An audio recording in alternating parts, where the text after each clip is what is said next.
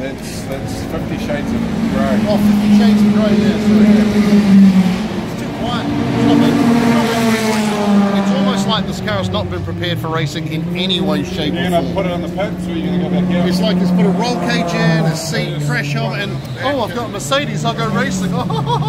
well, the laugh's on you, buddy. But you said you wanted to talk to me about the Hoover Commodore, something about the front yard. There was something about the Hoover Commodore. Um, I had noticed because the car has been here before. It's completed really good experience. The He's gonna come left-hand back front in, guard, yeah. Um, He's going. was it a different attitude to what it was uh, in scrutineering, I think. We smacked- we stood on it to squash, squash it flat so it looked pretty for you and we smacked it with a rubber hammer to make it look ugly and then we put some paint over it because it sits I'll stop you there. Right.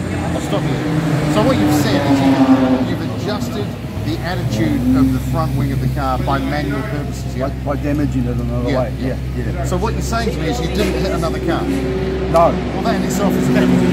and it's no coming back from that one, right? Don't hit anybody else, right? And make sure that wing is in the condition it's in now at the end of the race, and you might get the laps.